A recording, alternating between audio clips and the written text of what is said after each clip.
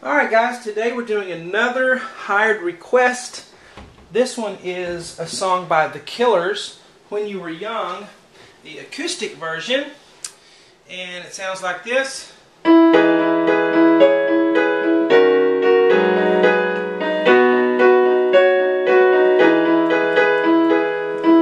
so forth. Hello, I'm Shawn Cheek. Welcome to my Easy Piano Lessons. If you've never this is the first video that you're watching of mine. I use a whiteboard to teach by ear um, songs, how to play the piano, and it works quite well uh, for many people. So this is a hired request that someone hired me to do, and I have a big list that I'm going off of, and it'll be a couple of months before I'm through the list, before I'm taking any more hired requests. But uh, the person that hired me for this one sent me a YouTube link and that's what I'm going off of is this acoustic version off YouTube uh, by The Killers When You Were Young. and this is the free part one I put on YouTube. You can get the rest of the song plus all 1,500 of my other videos on webpianoteacher.com. That's my website, webpianoteacher.com. The easiest way to get a hold of me to uh, check out what I'm doing, what I'm up to, is on Facebook. Um, just look for webpianoteacher.com on Facebook. You'll find my fans page. I'm also on Twitter as well. My name is Web Piano Teacher on there. All right, enough advertising. Let's get to this. I have to do that. It is the way I make a living, so I uh, have to plug myself a little bit. Now, we're going to start with the right hand on an E above middle C. All right, then we're going to go to G sharp and B after that. So the chord is an E major chord, E, G sharp, B. So you can just kind of get your hand in that position. Alright, and we're going to have a lot of sharps because that's the key the song is in. So I like to stay as accurate as I can. So we're going to do it in this key with lots of sharps. but uh, And then we're going to go to the G sharp and B here. Bum, then we're going to go back to E. Now we're going to do that figure two times. That's why I have a two there. So it's Okay? And then we're going to go, we're going to keep the G sharp, but we're going to make the soprano note, the top note is C sharp. Okay? And then come back to the E, and then come back to the B. The B and G sharp, and then down to the E again. But notice the E and the G sharp remain constant on the bottom, okay?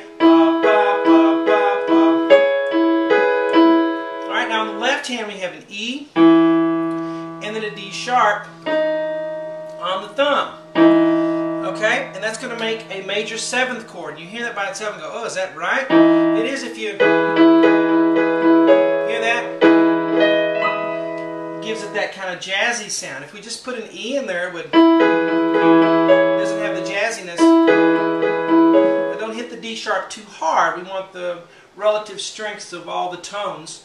in our chord to, to be correct. So not too hard on the D sharp when you hit it. So you just hold that. So that first part here is uh, uh, uh, Okay, then we move on to the next box.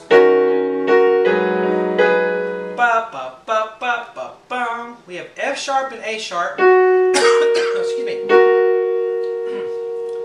I always have allergies. they make me sound like I have a cold all the time. F sharp and A sharp. Down to a C sharp on the thumb. Back to the F sharp and A sharp. And then to G sharp and B. And then we'll do a D sharp on the thumb. So D sharp. And then G sharp and B on the top again. We're going to hold that one just a bit. That's why I put the little dash there. And then we continue, but that note is held a little bit. Okay? Uh, the left hand we have another seventh D sharp to middle C sharp. Okay, right there in the middle of the piano. Then we're going to go down to do this seventh, G sharp and F sharp. And they, they sound odd by themselves, but in the context of the live music, it'll sound just fine.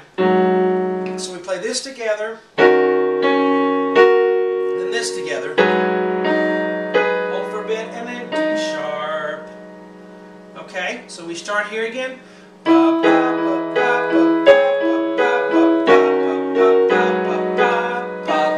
Okay, just straight chords all the way through, or straight uh, eighth notes, or sixteenths, however they it's notated. But that rhythmic constant is all the way through.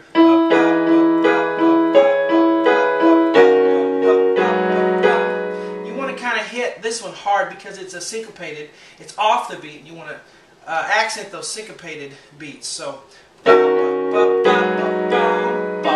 then we start with the D sharp again. Now, this is going to be a little different. Sounds a lot like this one, but the chord is different. So it's going to be F sharp and B together. Now I put a little dot here, and I have a little dot here. We'll explain what that means in lesson two. Uh, it's kind of my way, way to notate a repeat. So when you get to the website and you're on lesson two, keep in mind this board one where I put these dots because we're going to use that, all right? So F sharp and B together, then down to D sharp with the thumb, two times. One, two. Left hand on a B octave.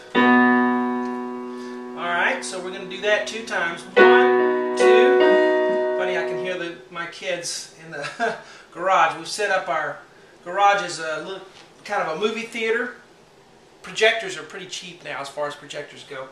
And we set that up in the garage, and I set them out there with a movie, turn on the air condition uh, in the garage, and they're just set. They're watching movies and eating popcorn. You know, I had to have some time to do my videos, so I put on Rango for them, so they're watching that.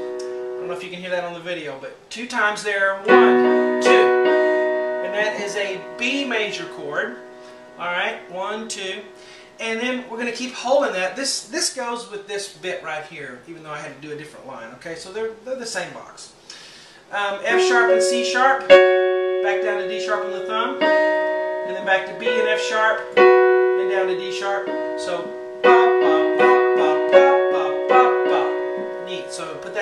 ba,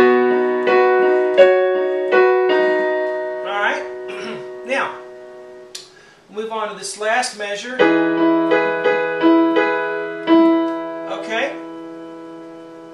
Uh, so we have G sharp and B, just like the beginning. Then we go down to E. Then we go back to G sharp and B. Two times. One, two. So it's two times there. And then back to the E. And then back to the G sharp B. Hold it for a bit. And then the final E there. So it's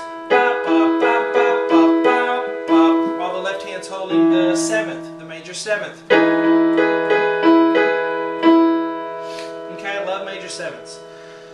It's just a relaxing chord. You just just want to relax when you hear a major seventh chord. Now, let's go all the way through it. Now, this part one here. One, two, ready, go.